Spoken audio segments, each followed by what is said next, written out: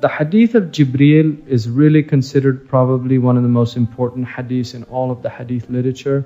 And the reason for that is it is a summation of the entire Islamic teaching.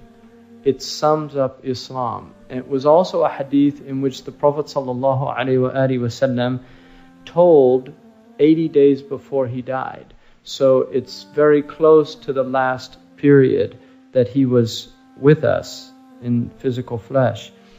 The hadith is related by Umar ibn al-Khattab anhu, who Umar is the second caliph.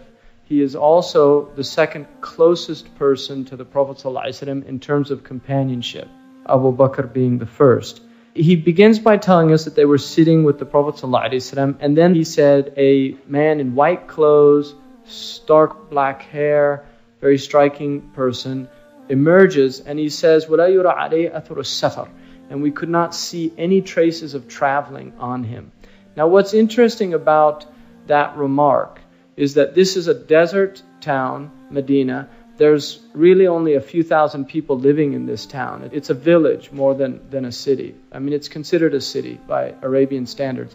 But it is certainly not a place where people didn't know each other. People knew everybody there. Now, when this man comes in white robes, very clean, very fresh, no signs of traveling, they thought that was strange, which is why he mentions it. Because where did he come from? He would have had to have showered, changed his clothes. Nobody knew where this man came from, and nobody had ever seen him before. Well, he sits down and he places his knees against the knees of the Prophet, which is very intimate And then he places his hands on the Prophet ﷺ's thighs. Now, in this hadith, which is the one that is the most famous, it doesn't mention it. just says, وَوَضَعَ كَفَيْهِ عَلَى فَخِذَيْهِ He put his two palms on his thighs. And, but there's another hadith that says on the Prophet's thighs. Now, there's some reasons for doing that. One, it would have been obviously a very intimate thing to do, as if he would have known the Prophet ﷺ, he wouldn't have done that. And it probably shocked some of the Sahaba because they would not have done that. But the way he sat was uh, an Eastern way of sitting, which is like this. Traditionally, that was way a student sat. In madrasa, it would have been considered rude not to sit like that. So, and obviously, if you've noticed Persian people and people that can sit like that for long periods of time, it's very commonplace in uh, in some Muslim countries where they still sit on the floor. So then he says, "Akhbirni, Ya Muhammad, an al Islam. Tell me, O Muhammad, Prophet ﷺ, tell me about Islam. Akhbirni an al Islam." And the Prophet ﷺ says, "Islam is shahada." That's the first thing he says that it is an tashhad an la ilaha illallah wa Muhammad Rasulullah, that you testify that there's no God but Allah and Muhammad is Messenger, which is an act. It's not a belief. Shahada is not a belief. It is an act. It is an act done with the tongue. People forget that in Islam, words are considered actions. And Imam Malik said, when you realize that your words are actions, if you have intelligence, your words diminish because you're taking into account for your actions. The more words you have, the more accountability you have. He said, it is to say, an tashhad, an la ilaha illallah. So that's the first, it's called a rukn, which means a pillar. And a rukn is something you depend upon. It's something that holds other things up. And then he says that you pray, that you pray five times a day. And then he says that you pay zakat, alms tax, you fast during Ramadan, and then you make the pilgrimage to the house if you're able to. At that point, the man says, Sadaqta, you spoke the truth. So the Sahaba, Sayyidina Umar says, Ajibna, you know, we were really dumbstruck at that point. He's asking him and then he's confirming what he's saying. This is very strange because he's asking him a question. So now one of the things that we learn is question is a teaching device. A teacher will ask a question not because he doesn't know the answer, but because he wants something else to happen. So he asks him this question, and they still don't know who this person is. And then he says, Now tell me about faith. So we're moving to another dimension of Islam. The first is Islam. Then he says, Now tell me about Iman. So here's a distinction between Islam and Iman, which is going to become very important.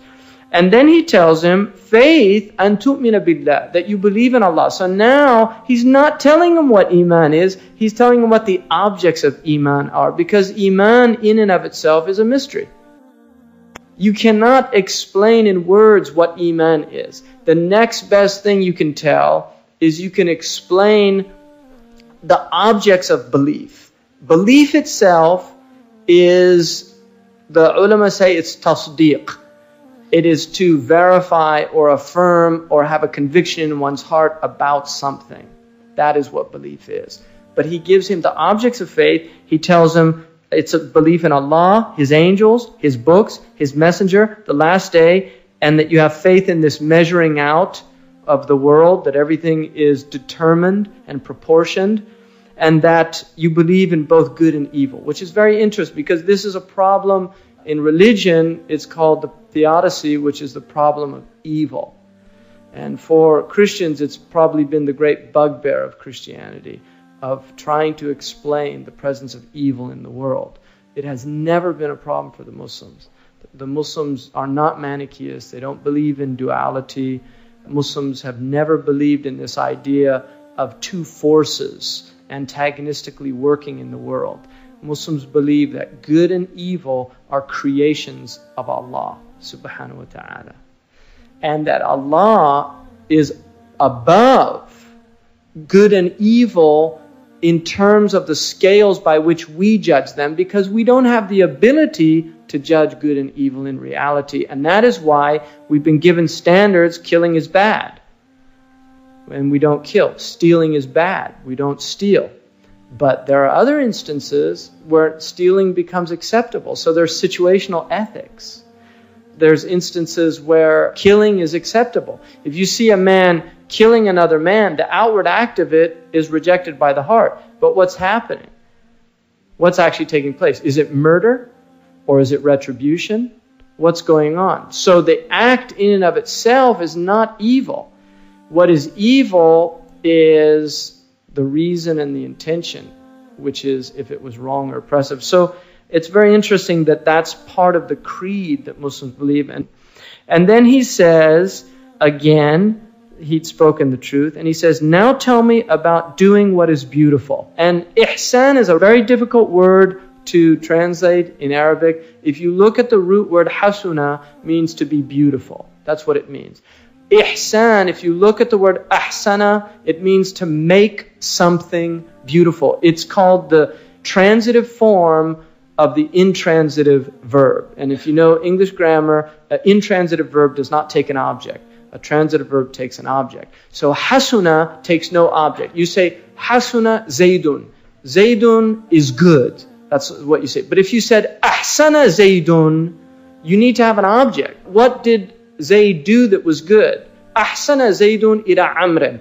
Zayd did good to Amr.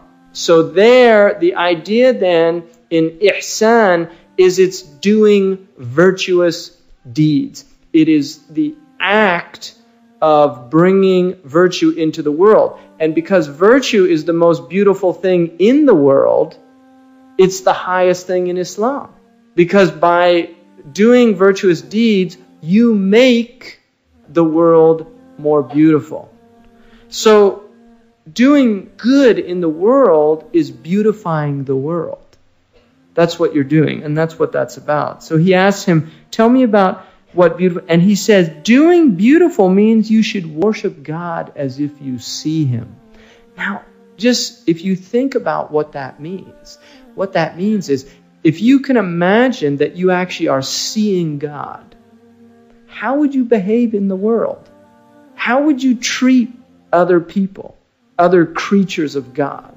How would you treat God's creation? If you go to somebody's house, you don't spit on their carpet.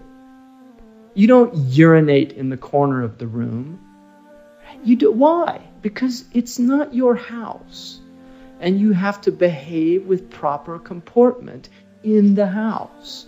And the better behavior that you have, the more likely that he'll invite you back. So the idea of being in the world as if you see God is the idea that you are a guest in a dominion that belongs to God. And that if you actually behave in the world as if you see Him, you will behave appropriately. You will behave with excellent manners. You will behave beautifully. And that's at the essence of ihsan. And then he says, and even if you don't see him, at least you know that he sees you. So the highest stage of ihsan is really to be as if you see God. But if you don't, at least you know he sees you so that your behavior is still appropriate. And then he says, Tell me about the hour. And the Prophet ﷺ said, The one being questioned does not know more than the one asking the question. In other words, the, the moment that the world ends is a secret. And so he says, then tell me about its amarat, its signs, its marks. So this is the signs of the latter days. The Prophet ﷺ says, the slave girl gives birth to her mistress. Now the ulama have always considered this a very unusual statement, but the ulama have gone into three dominant interpretations. One of them is that it is the turning upside down of social order. That right becomes wrong, wrong becomes right, uh, high people become low, low people become high. That this is what happens. And so the idea of a mistress giving birth to a slave, if you invert that, it's the ama, al amatu taridu rabbataha. All right, the servant gives birth to her master. It's an inversion of realities, what's called qalb al-haqa'iq. So you see the slave girl give birth to her mistress. One of the interpretations also is that it means children will become completely rebellious against their parents, which in Confucian understanding is the worst possible sign in a human society when filial piety no longer exists.